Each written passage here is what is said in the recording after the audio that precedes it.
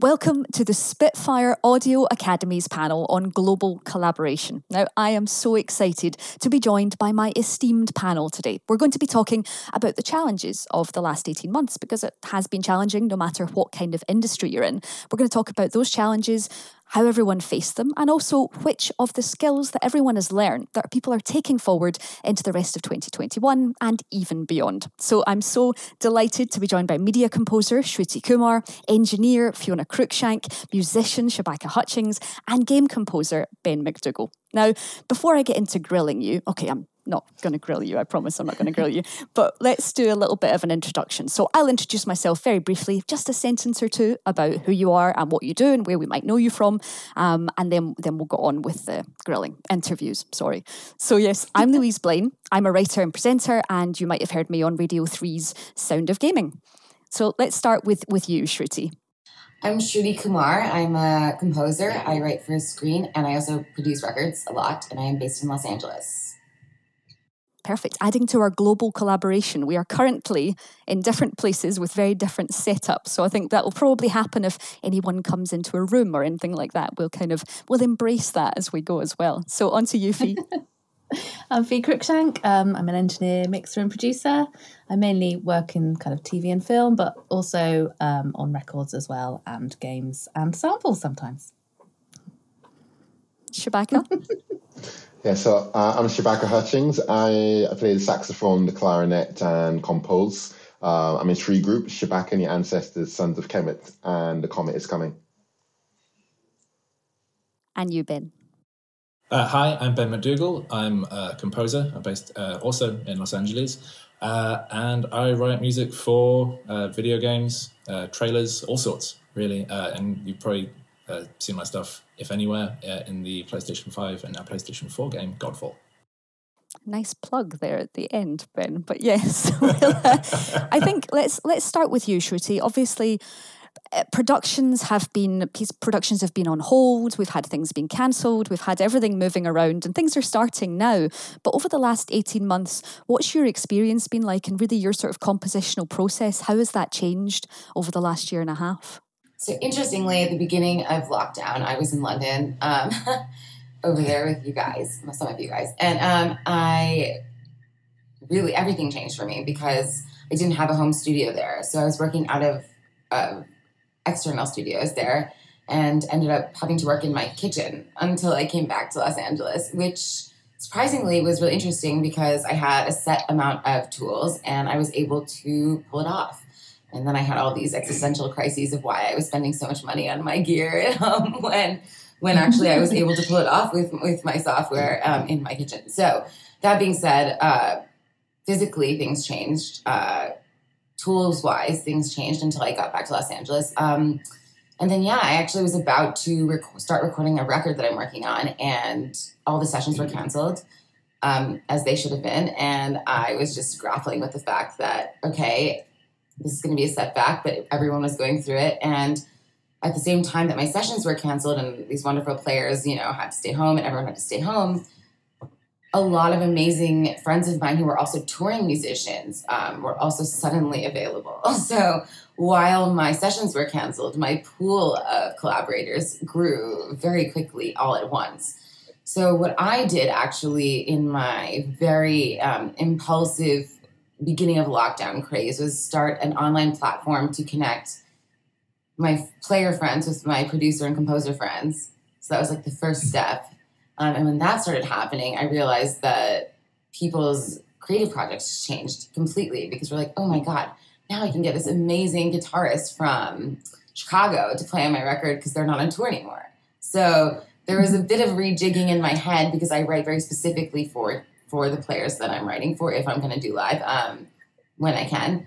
Um, there was a lot of rejigging as to how I was going to arrange and record my stuff. I mean, this is going to be a long conversation. I'm sure we'll get into it of how we did that in the end, how we recorded remotely. But um, I think the biggest change for me was actually in a positive sense. I'm going to keep it positive. Um, the projects became more personal, and I and I began to collaborate much more um, intimately with my players and uh, collaborators as well, engineers like B, which we'll talk about later. I think we we will, but In terms of that collaboration, let's get into the tech of that. So, when you suddenly realized that you could bring everybody together, what were the kind of challenges that suddenly became oh we're used to people going into studios or we're used to people doing things from home so what what were the learnings there and what were the maybe big win outs in terms of tech that you used well win out okay so the big difference i actually couldn't bring everyone together so i was working with everyone intimately individually and then yeah. bringing them together myself with my dazzling engineering skill. I'm just kidding.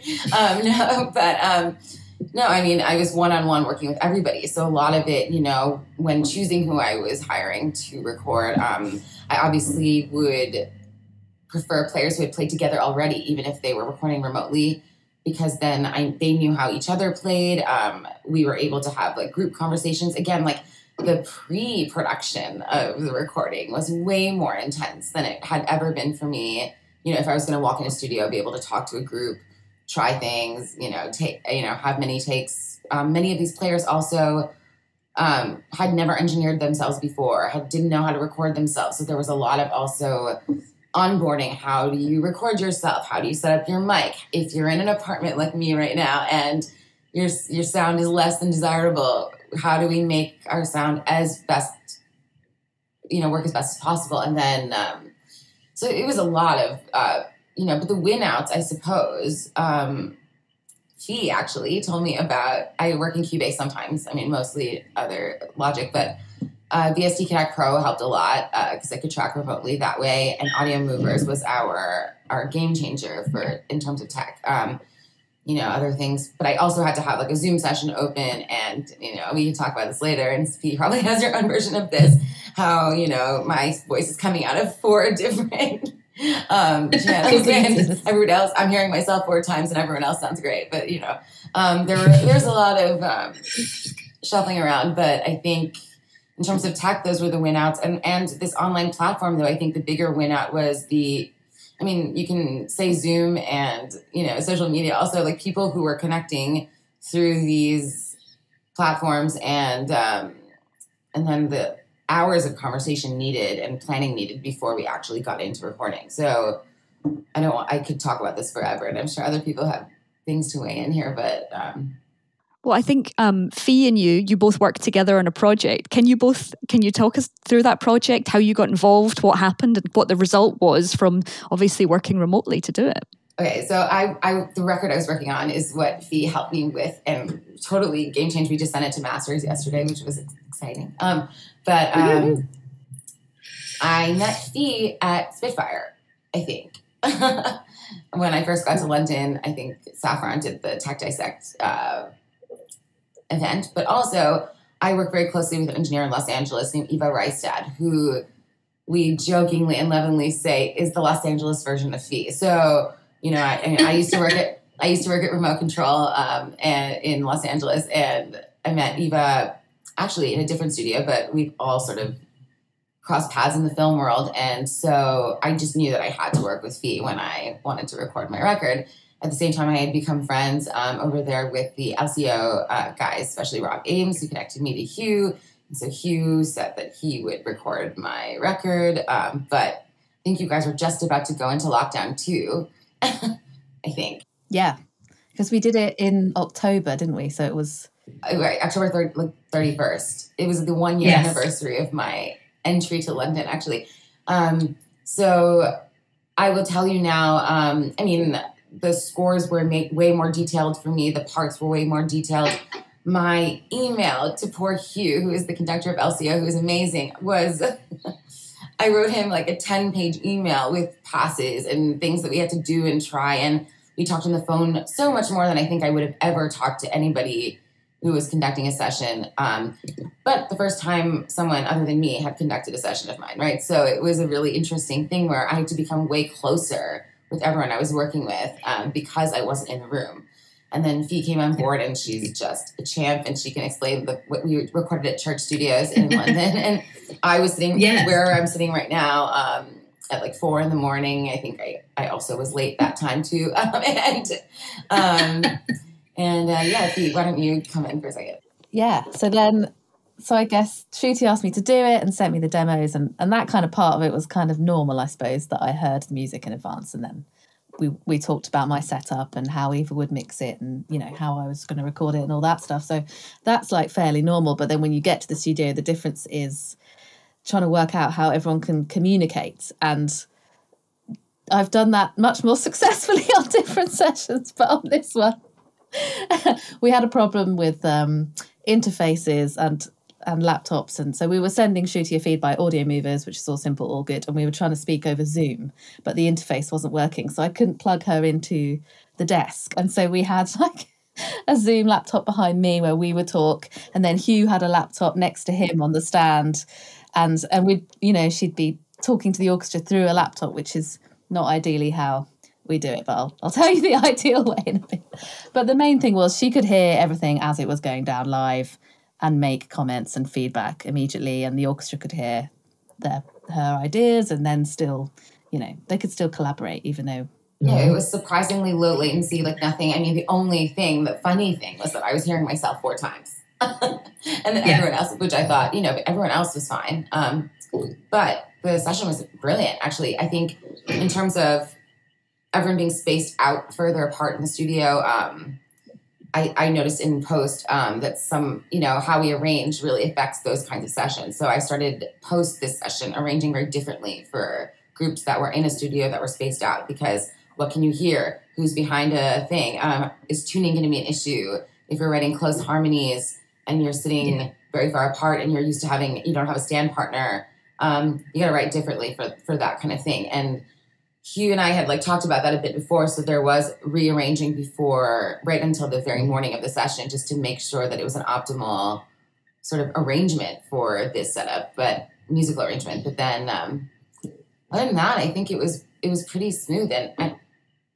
the, a nice thing that came from this actually because of everyone's spaced outness I was able to use um, the tracking that Fee so brilliantly did at church. Um, and I did a lot of reamping and sampling and um, processing on these strings as well as using them the way they were in a way that I probably couldn't have as successfully done um, maybe in earlier kinds of sessions where everyone was closer and there was way more bleed, etc. Like there was a lot more isolation in a way that I was able to do a lot more intense production. Um, and then alternatively to all this, in this record, I have to throw in that um, because I had all these global collaborators, all of a sudden, um, this was like a very nice version of remote collaboration. But I've used iPhone recordings from people in India and Africa too during this time as well. Um, and cleaning up audio became another like huge uh, lesson of mine this time. I like iZotope saved my life, but and then working with you know non-traditional audio like if it's not going to be a clean vocal, how can we make this a vibey vocal? You know what I mean? But or something like that, like really leaning into the imperfections and making some new aesthetic choices in my production. So um, it became a really interesting time to collaborate and sort of dispel these notions of what we need to do to make a clean product and really adventure into some new territory with some incredible people. So. I think um, talking about that fee being an engineer, you're obviously quite used to remote work. You know, I think we've all got to remember that while we've only been able to do it before, the tech was very much growing for a long time, and a lot of people have used it. I mean, we've been working globally for a long time. It's just suddenly we all had to. So I, I, take it for you, people checking in remotely wasn't a particularly strange thing, but did you then have to sort of hone in, this is the way this is going to work? Because obviously, studios for you must have become much more restrictive. People just couldn't come in. So that was suddenly all you had. So did you come up with a sort of dream setup quite early on? Yeah, that was exactly it. Now, I guess the the numbers in control rooms are so much more limited, and particularly in film and, and TV, we'd always had that remote setup because there are a lot of composers who might just want to do one session in London and can't, you know, fly over just for that. But as you say, now doing that for everyone all the time, um, certainly Air and Abbey Road and and the other big London studios. But there was a lot of communication between Air and Abbey about, you know, oh, what are you using? How are you doing that? Different types of software. Um, there's there was obviously Source Connect, which we used to use a lot, but when everyone started using Source Connect, it kind of fell over. Um, so we, we started using different types of technology like Clearview, but Audio Movers became a big one. And Audio Movers and Zoom seems to be something that I can take around with me to the smaller studios that don't have the kind of setup that Air and Abbey Road You know, when I go to the church or some other smaller places, I have to do the sort of com side myself um, on my laptop, like as I say, with an interface that I've borrowed or that I've brought in, or um, but Air obviously and Abbey Road have a sort of whole separate rig system for communications. They've got audio movers set up. Everyone speaks through Zoom, um, so that you can kind of keep the latency down on the, the the communications and the feedback on takes and stuff. But then audio movers, if their internet isn't so great at the other end, you can increase the latency and they can hear at a better quality kind of thing. So that's how we've worked out is the one of the smoothest ways anyway. Did it turn did sessions become longer? Did you suddenly have to take more things into account? Did you find that your sort of your your flow changed that way or do you think initially there was a couple of hiccups but then it just became more normal?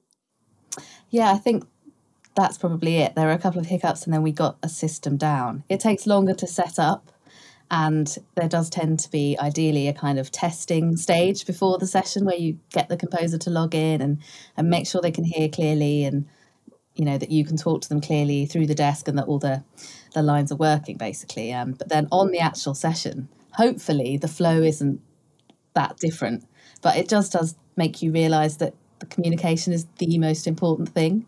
You know, and, and if people can't talk to each other you know, if something goes wrong with the audio feed and they're like, "Oh, I didn't hear that take, sorry," as long as you can immediately say, "I'm so sorry," you know, this this has happened. We'll get back to you one moment and then play them the take back, or you know. But if they if you can't talk to each other, then you can't run a recording session. And if they can't talk to the musicians, then and you need to make them feel like they're there, basically, the clients, because um, this is like a big deal, and they're missing the fun part, if you know what I mean. So, yeah, to have an open line between them, the musicians, the conductor, and really feel like they're collaborating and there's nothing holding them back is so important.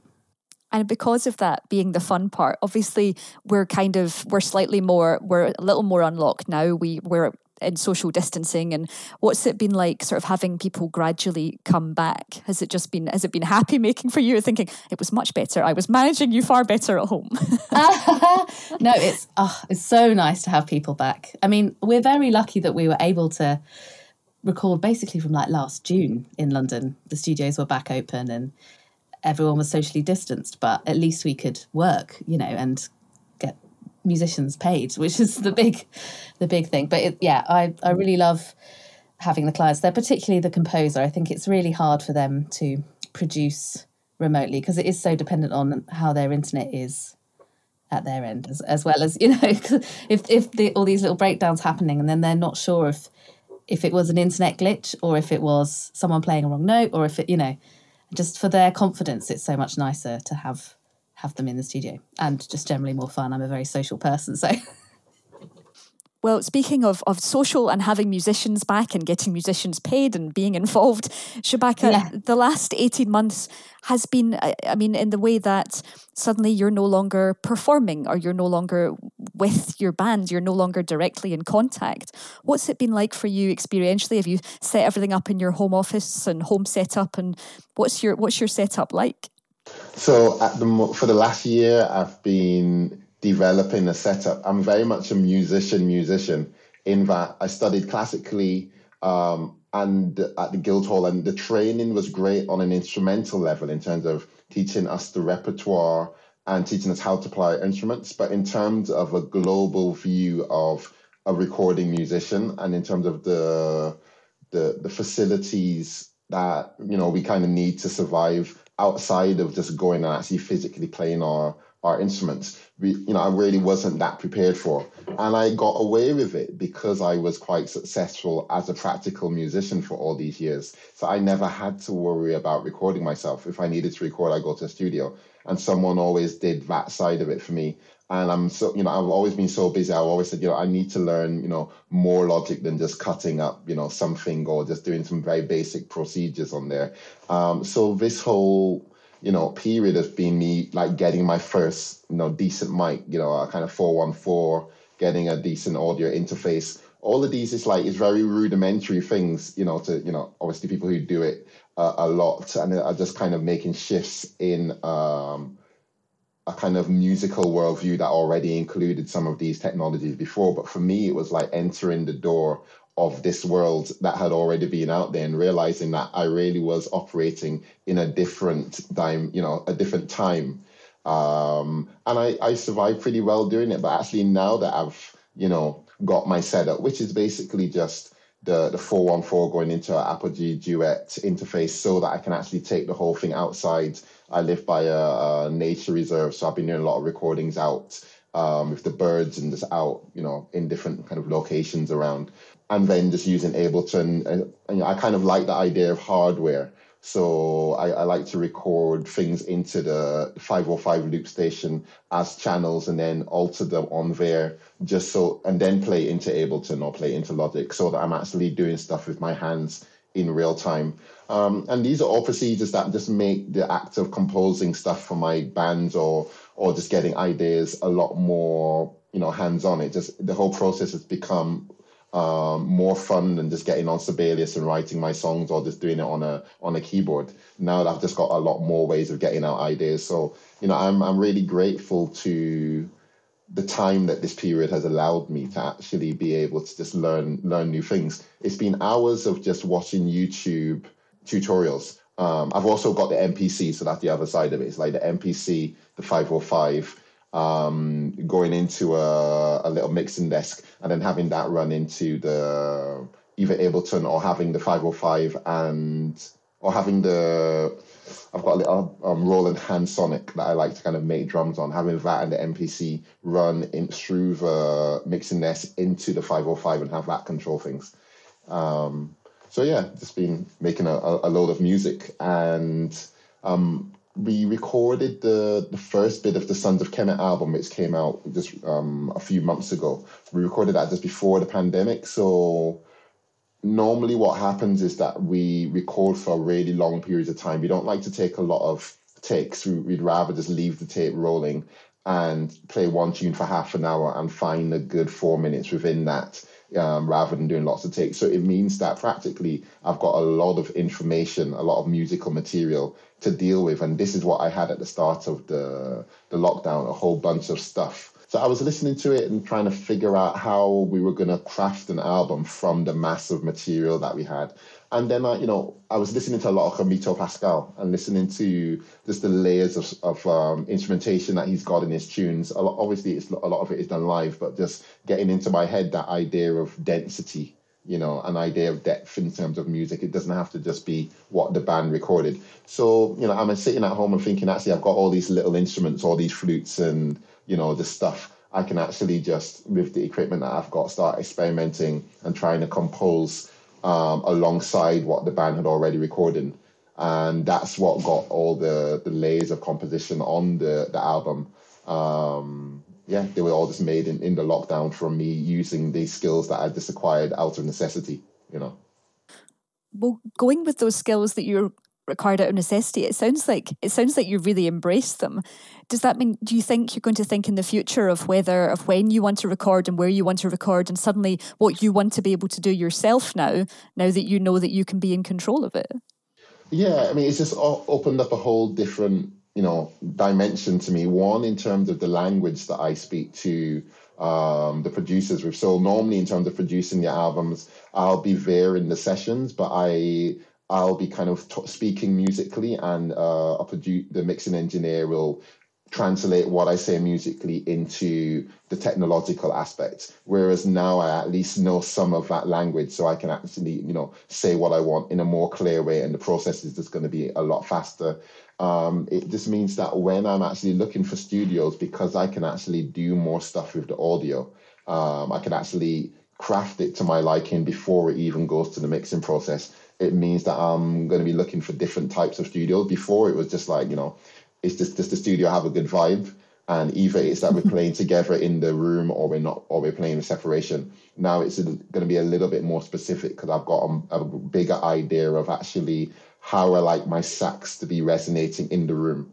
You know, from playing in the same room for like a year now I know like you know I I know that if I sit in the middle of the room it's got this kind of sound if I sit in my like bathroom it's got this kind of sound so in studios it's not just that I kind of go in and sit down and turn the mic on it's got to actually have the right the right kind of resonance to make me feel you know satisfied at the end I so wondered if this would happen post lockdown because so many musicians were obviously recording themselves. Yeah. And a lot of people were calling me up at the start, like, what mic do I get? What interface? How do I do this? And where do I put it? And all that stuff. I thought, oh God, we're going to go back. And everyone's going to be like, no, no, Fee, no, doesn't go there. Inst- There's, instant you know, pros. yeah. Well, And now going you can on, do that, Shabaka. Exactly. So going yeah, on, you said no. Yeah. You said you found um, where you preferred the odd. Did you, was there somewhere in your house you discovered that there was a perfect sound that you didn't expect? You, did you just mention the bathroom?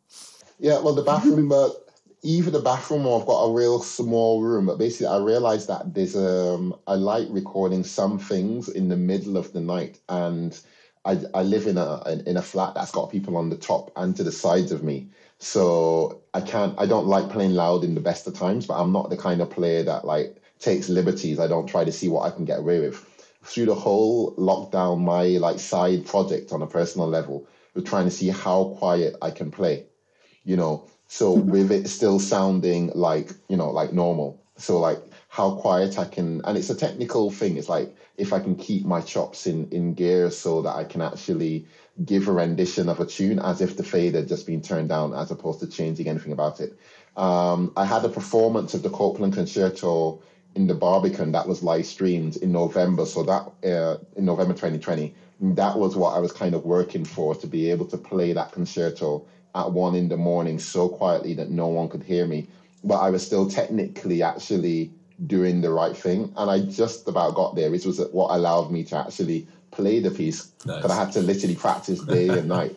Um, but because of that, it means that when recording at that like real minuscule dynamic where the the difference between the breath outnumbering the you know out kind of powering the sound of the actual clarinet, it's a real like fine balance. Um, and I find like smaller rooms that are quite resonant, so like the bathroom or my small room, um, it's great for just you know one in the morning. I want to record the clarinet, but I don't have a padded studio. I can get into this small resonant room and just play super super quietly, and gets a real intimate sound with the recording that you wouldn't get if I had the liberty of playing with a more out outgoing technique. You know, it's a particular sound that actually I associate just with my sound, which is to play out. But I find that having that restriction of playing inwards, you know, it, yeah, there's just a real kind of intimacy that I hadn't really explored before, which was you know good to kind of get into. You know.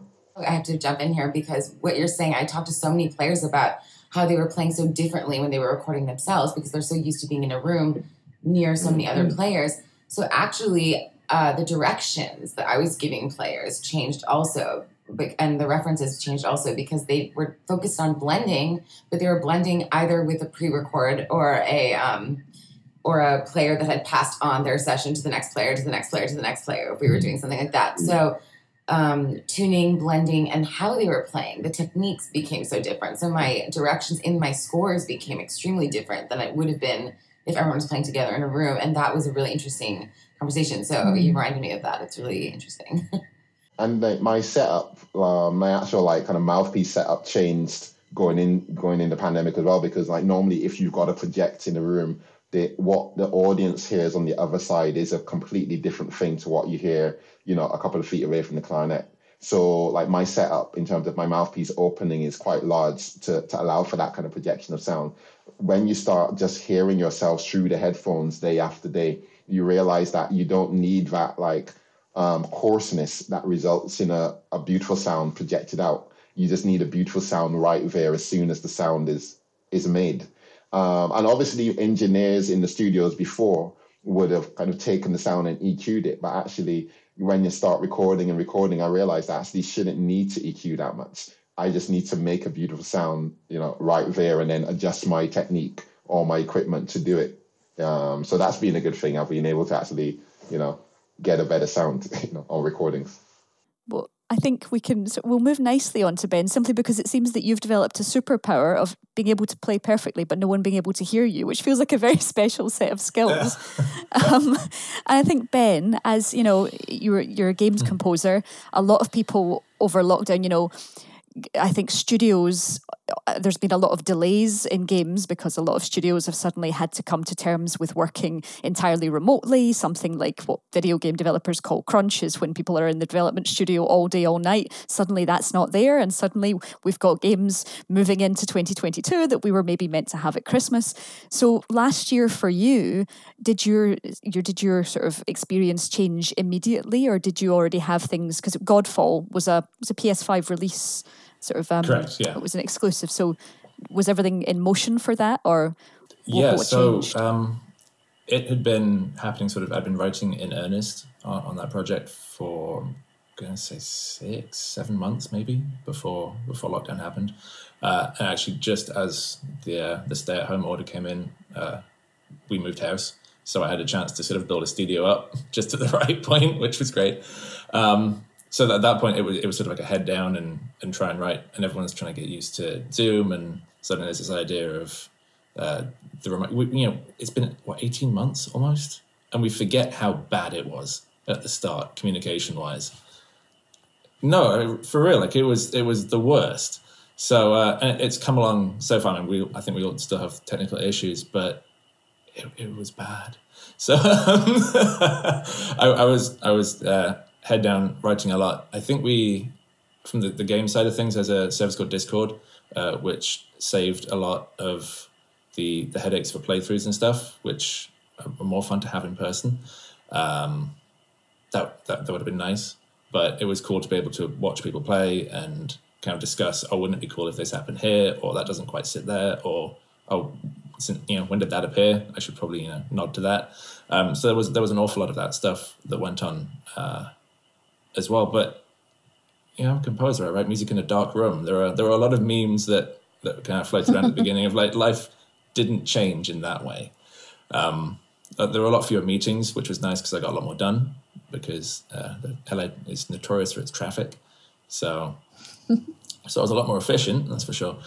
Um, was that the, what was the question? Yeah, you pretty much answered it. You got there. But in terms of um, game composition, lots of different game composers have quite different Yeah. approaches. Some people are suddenly given a theme and some concept art and told to go away and develop the entire score because that's how they, they want to they want to score. But Sure. are you do you want to, do you are you more hands on? Are you constantly seeing the game as it's developed? Is that something that you like to do or play um, as, as hands on? It's, de- I mean, it's definitely an iterative process. I mean, just by virtue of the fact it's an interactive medium, the the more you can do, the better. The biggest uh, is, one thing. I mean, you guys have covered so many of the, the, the points that I, I'd scribbled down uh, to, to talk about the, the whole kind of lockdown music writing thing. But the thing that was a surprise wasn't so much the making the Zoom calls work or the the day to day nuts and bolts, but at a certain point, it was harder to be creative. Um, I've I've always thought of it as being a little like uh, like breathing. Know, when doing doing the creative thing is breathing out, but at a certain point, you have to take something in.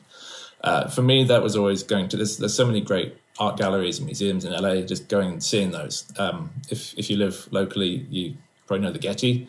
It's this. It's on a mountain. It looks over the whole city. You have to take a little monorail to get up there, and it's full of everything from like ancient sculptures through to modern art. And it's a huge building. There's there's a lot of light.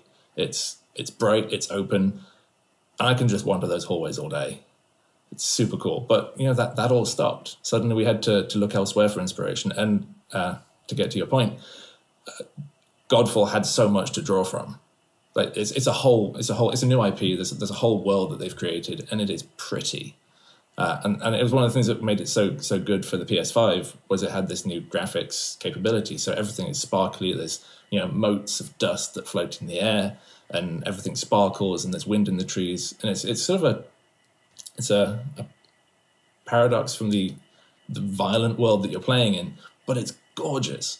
And there's and there's there's so much to draw from. So I kind of I ended up going inwards and sort of just diving deep into that. So any any character art I could get my hands on, any level art, any playthroughs, uh, I was just requesting just footage left, right, and center, just to kind of throw up on screen and just In terms of you, you work across multiple mediums, but specifically talking about games, I think people are always very interested when they hear that games have dynamic soundtracks. So a soundtrack that reacts to the player and reacts to everything that you know everything that we do. And people don't. The lovely thing is that when when we play we don't think about it because of we, we've come into combat and it's exciting music and when we stop it calms down so for you what's it like to create to create music that that changes and that's constantly evolving like that it's very different from writing in a in a linear medium because it's different every time. You've, you you said it perfectly. There's a the music has to sound good and it has to sound deliberate whether a player crosses a map in 30 seconds or three hours.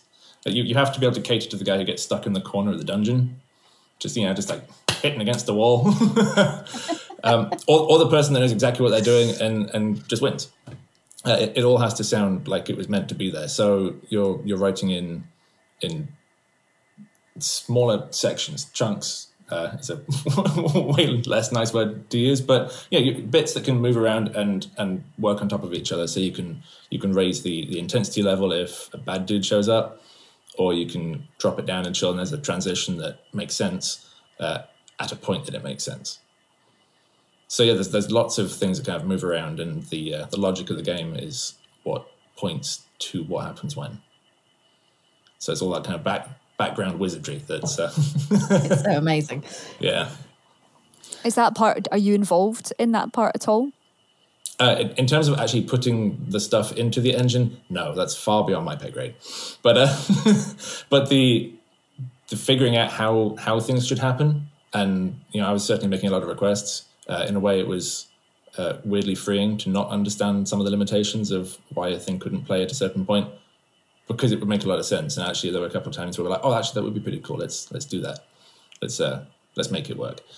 Um, but yeah, there, there are people far more talented at at uh, well engineering really than than me. Did you get to play? Because I know there's I've been using a service when I get to when I get to play a game. I've been using a service called Parsec, which basically hooks into my PC. I download onto my PC, and suddenly I can play a game through someone else's PC, which has genuinely changed the way that previewing games has as you know you used to have to play in LA or go to London and everyone would sort of surround a very locked PS5 that no one could leave the room you know? And I think that's really changed. So did you get to did you actually get to go hands on and play the way you wanted to before release? No you you you uh, you covered it there with the the highly guarded PS5 thing. I think there were a couple of units floating around development and I did not get my hands on them.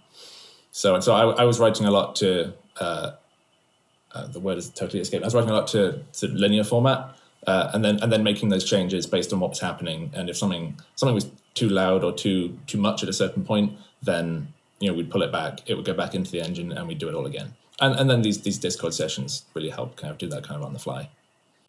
Had you already recorded pre lockdown? Uh, yes and no there, okay. there, was there was there was a lot in both directions. Uh, I ended up working with a fabulous cellist uh, in London called uh, Shot Clouder. He's uh, he also was going through the the figuring out uh, home recording uh, journey. Shout out if you're watching, by the way, and he was getting very excited about all the, the different microphones that he was getting hold of. He, and for every every take he'd send, there'd just be like this smush of audio files of like, and it sounds really good on this and that. If you want to have a warm, chocolatey sound, then look over here. And and over times in these these countless times of sending audio back and forth, I, I began to figure out which which things worked for which, uh, you know, which sounds for what kind of what intent. There's there's dark bits, there's there's pretty bits, uh, and the mics were different for for all of them. It is really incredible how much we got to know our players during this time. Yeah. And it's also changed my writing forever because, I mean, in some ways, I'm working with way more people than I was working with before, but how intimately I know them and how they play and how they like to play. And it informs how I write right. too. I think that's so cool. Just like I said. yeah, and, and uh, Shruti, to your point from before, the, the scores that I was sending were getting ever more uh, artistic, let's say, like to a, to a point where I was actually I was just scribbling on things. Like there was there was no way I could notate it. yeah, yeah, yeah. Hairpins just wouldn't work. yeah, yeah. So uh, yeah, those got far more interesting. I mean, to the point they should probably just go on the wall somewhere. But but yeah, but the end result it, it worked out, and it, it brought back some of that that organic uh, interaction maybe that, that, that you get. And I think no matter how good the technology becomes, and again, it was terrible 18 months ago. It's, it has improved a lot. You're never going to fully remove the, you know, the glass between people. I mean, never mind control room glass, but the, you know, the distance. It, it doesn't, it doesn't ever go away fully. Yeah. The tricky thing from all of the the remote uh, recording, which has been amazing, is then how do you pull it all together to mix, right? I mean, did you guys mix your own stuff? that's that like that's the part that suddenly you're like, oh, this will take a bit longer because Yes. you're trying to put all these people in their own houses into one Right. kind of space to make yeah, it make one, sense. one cohesive sound. Yeah. exactly. Yeah. Um, yeah. it- apart yeah, from I- the fact that you might have to edit more or whatever for tuning or as you were talking before Right. shruti blending and everything yeah But engineers were like the real saviors. I mean, and I think there were way more engineering roles created too during this time, right? Because Yeah. We're doing all these like big group sessions with mm-hmm. everyone in their homes, and then there must be like an extra engineer mm-hmm. sending out the Pro Tool sessions to all the players so they were uniform and make, making sure they were recording the same way. And then someone else like mm-hmm. comment. I mean, there was you guys just saved the day. I. I literally have so much more respect, and I'm also probably hovering around my engineers way more now than they would have ever hoped for before this time. Um, my lifeline. you still get stuff where i did a film the other day and it's like okay you've recorded a 44.1 in logic this person's 48 at pro tools right? Let me bounce that out there you know like uh, right now i've got the things that i need to put together you know like there's this little process before the like mixing creative fun part where you're like what? In terms of we've we've sounds like we've discovered an awful lot of of positivity and learning and what would you say you're going to take from what you've learned over the last 18 months? Now we can balance it nicely with with seeing people and joining people in safe ways. What are you what are your sort of biggest take homes to continue to use? Shruti, you go first. Um, well, I'm sure everyone's going to have, and I think I've said a lot of this. I think my biggest takeaway, though, I was always someone that preferred to not be um, geographically controlled in terms of who I was working with. So if I was working on a particular thing and I wanted to work with this particular drummer in Nashville, I wanted that drummer in Nashville. So I would always figure out a way to make it work. But now more than ever, um, the positive is that I feel like I'm working with people that I connect with a lot more, and I don't so much mind uh, where I am and where they are. And I think that that has really opened my possibilities in terms of the kinds of music I can record, what I'm able to write. Um, suddenly, um, LA seems very irrelevant to me. Um, no offense to LA, I love LA. I'm glad to be back. But I, you know, I, it's amazing how much I can uh, work with anyone I want to work with now, and also. Um, give equal i think a lot of players have it's leveled a playing field a bit as much as possible and it will continue to do so in terms of also lifting the veil on um, the realities of whose setups are what and who's faring how in the on the musician side of things so we can be more equitable we can be more transparent in how we're collaborating um, how everyone's getting paid making sure we know how many hours i mean the greatest thing and weirdest thing about working remotely with people is there was no hiding the number of hours everyone was putting into something, um, including the players. And I, I have to say that like um, I've always thought about this as a composer, but I'm so glad now that it's just undeniable um, the amount of work that everyone had to do during this time, and um, sort of just making sure that everyone's treated properly, feeling like they're cared for, and also um, incentivized to do their best work. You know. I mean, beautiful things have come out also from everybody feeling like they are bringing their A game from their homes, you know? All these layers of, I, I'm nervous because somebody else, like 10 people are watching me in a studio, it's all gone.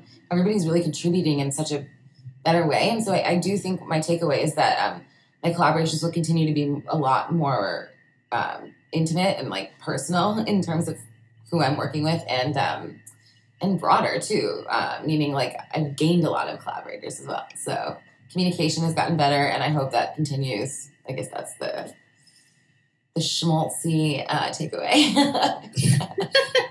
No fair. But no, I think the, the flexibility thing is is the is the huge takeaway from all of this. Uh, we, we all learned that you know some meetings it's okay to do online. You don't have to be in person for everything. And in other cases, you realize that actually you really should be in person for some things. Uh, and so there, there have been you know, eye-opening situations, I think, in, in both direction. Um, and moving forwards, we, we've we've all figured that out, and we can now all use Zoom. So, so it's, I wouldn't be surprised if a lot of people don't come to mixes anymore. Because that, you know, people Mm. always used to want to come to mixes. Maybe I'd get started and then they come and sit in the corner. But then a lot of people are like, it's kind of boring actually until until you're ready to play me something. This is really dull. And whereas they can be at home doing whatever they're doing, and then I can be like, I've sent you a thing. They go into their own studio, uh, the listening environment they're used to. They get to hear it back in a yeah in a way that they know it so well, and it's really quick for them to give me notes, and then they can go back to looking after the kids or you know making dinner or whatever they were doing. And I wouldn't be surprised if that carries on. Do you think that notes have gotten um, better in terms of feedback and more sort of organized? I'm wondering from your perspective if the way people are giving you feedback has become more clear or more streamlined instead of someone just sitting. In- kind of depends on the person. Sometimes yes, and uh, yeah, some people are like, just send me a mix and I'll send you an email of notes. And some people I've been doing like audio movers mix review kind of thing. So I play it to them and or or I send it, they make notes and then we do the notes together live. So that's really good because then it's like turn it down a bit or not that much. You know what I mean? Like how much is a bit? It it really varies between people in terms of let so yeah, that's been quite a, a cool thing. Most people have got efficient but I've had to tell how much is a bit. I've had to tell so many engineers is like I have to let you know that my baseline, like extremes, I love extremes. So when I say Exactly. be bold, I mean like something that you might be uncomfortable doing. Like that's a, Exactly, exactly, yeah. Because someone said to me a bit once, and I was like, okay, like two, three dB, and they were like, no, ten dB, twenty dB. You know, like that's not a bit, that's quite a lot. You know, like Yeah, bold move. yeah. Shabaka, is there going to be anything that you're going to take that you're that you're particularly excited to take forward? Well, I mean, once touring kind of starts proper, like, you know, gigs are coming back, festivals are coming back around now, but it's going to be like the start of next year when things actually start getting hectic. Um, like, so 2019, for instance, I did about 140 gigs in 10 months, which is about a gig every three days, but quite consistently. And, you know, it's like, and that the same thing in 2018, the same thing in 2017. And it's like, I'm on the road all the time. Um, so now I'm thinking that actually there's a lot I can do in hotel rooms. You know, there's a lot I can do in like theater spaces when I get there and no, nothing's happening in, you know, in resident spaces, um, which wasn't a possibility before. But, you know, when I think about the amount of dead time that you have on the roads, you know, in just spaces around the world, now that I've actually got a, a mobile recording setup, I can just make use of, of the time, you know, in that you've got to you know you've got to make use of your time somehow like when you're on the road a lot or else you're just gonna like bore yourself to death or just do some real harmful stuff because you just don't know what to do. So for me just having stuff to do on the road is good and like being able to record myself you know it just gives me something to to, to kind of occupy myself Do any of you have if have you thought over the last 18 months, I wish there was a piece of tech that did X? Has there been something that you would invent if you could and say, this is the one thing, this is the one thing that I really need? Has there been anything that ha- you've not had, or has has her current setup been able to give you everything pretty much? I Other wish than you humans, could obviously. actually record a band all together in different places at the same time.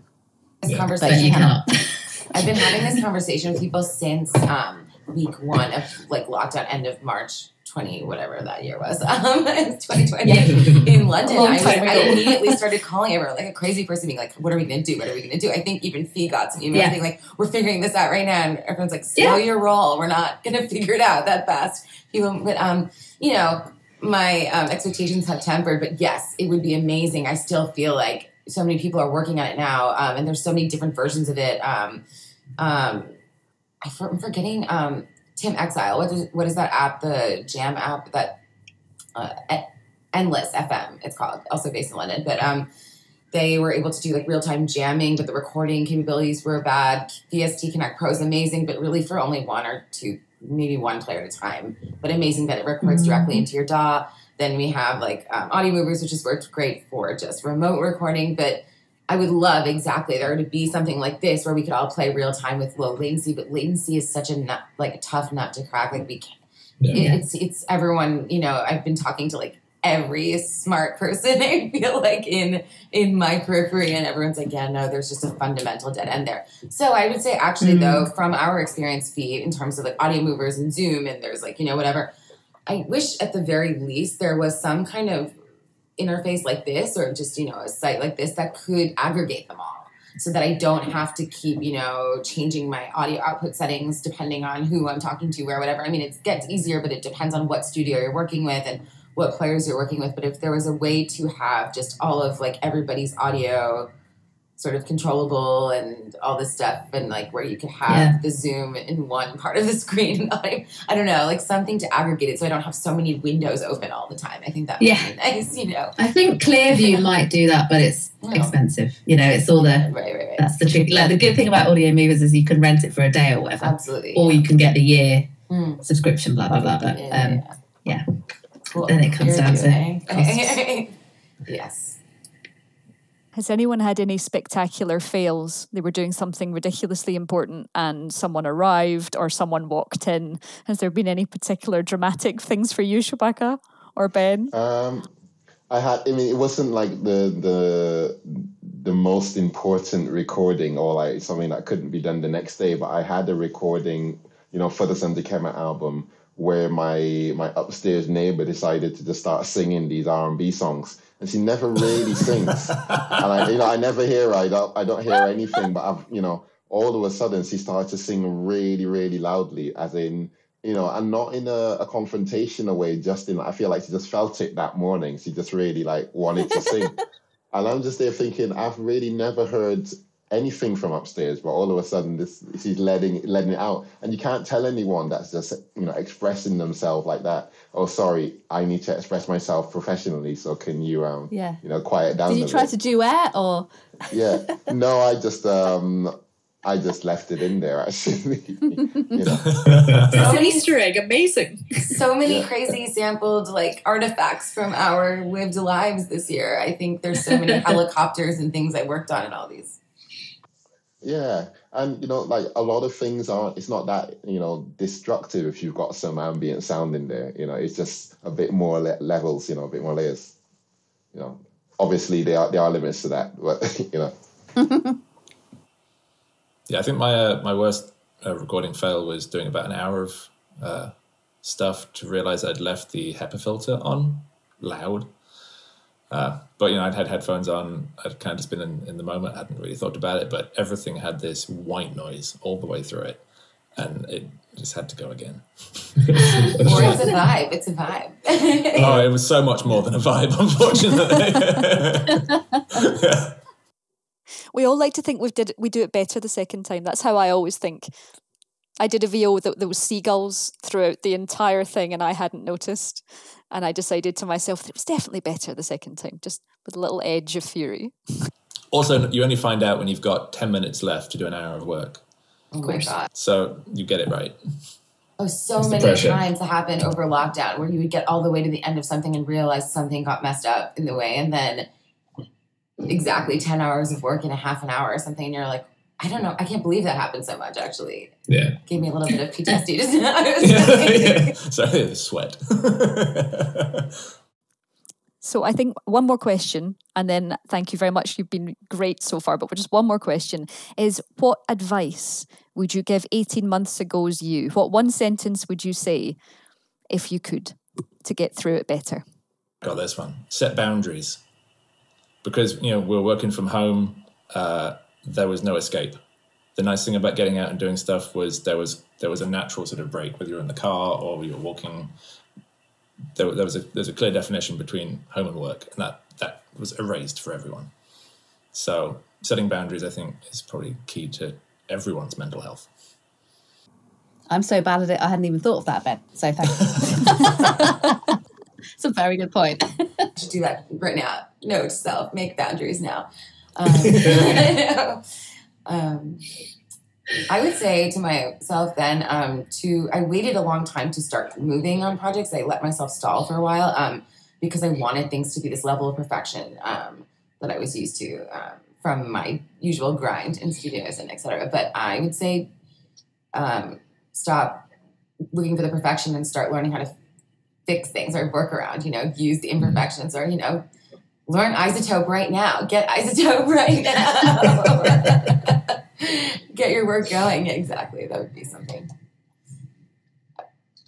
Um, yeah, I would just say do everything a bit quicker in terms of like the the stuff that I there's a as the time went along, I realized that actually it's just about how much stuff you know in terms of what you, you need what I need to learn.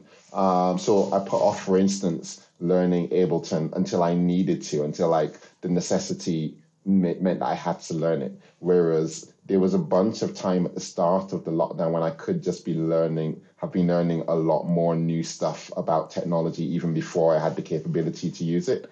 Um, and in retrospect, if I just spent that time really focusing, and obviously it's, it's easy to say that in retrospect, but if I spent the time focusing on just learning a whole bunch more stuff, which I did learn in the course of time, but like really in that period where we just had endless days of not knowing if the you know the world was going to come to a kind of crashing end or what you know in retrospect you know the world isn't coming to a crashing end and actually just watch those tutorials because you need some new skills. You know that's what i've told myself Yeah. I think maybe mine would be work out what will make your life easier. as in, like, everyone's, as you said, kind of doing a recording at home for the first time ever. And I'm having to deal with all these things for the first time ever. So maybe it would be would have been good at the start for me to like write a little list of like, okay, here's how you do this, guys. Here's what will, you know, here's what will make it work really smoothly and efficiently. You know what I've learned? So, Also- oh, sorry. No, I was just gonna say like, but also enjoy enjoy the challenge and don't. I think as as you said, Shruti, there was a a fear of like, will the quality go down from this new world and when we're back in studios and you know will people be complaining that the sound is different or stuff like that and actually that hasn't been the case it's just it's been different but it's been good so yeah enjoy the challenge say like to your point Fee, like I was also taught during this time, so I, I didn't teach before, but I started teaching at NYU, and I realized that in the education space at the beginning of lockdown, they were really ta- so tapped in that they did do at the beginning. They made these intense Zoom tutorials and like walkthroughs to like onboard their students. So I think in the education space, props to everybody there, but they really did that work. They mm-hmm. knew in the beginning that they had to get their students to keep going. So all these teachers just didn't sleep for a week and made a bunch of videos teaching their students how to work remotely. And um, I wish that like Hollywood had done that or the music industry had done that. When I hear what these professors did, I was sort of like, why didn't we do that? Can we have those videos? Sorry. exactly because it just took us all a while to be like to figure out how It was just denial. It was denial.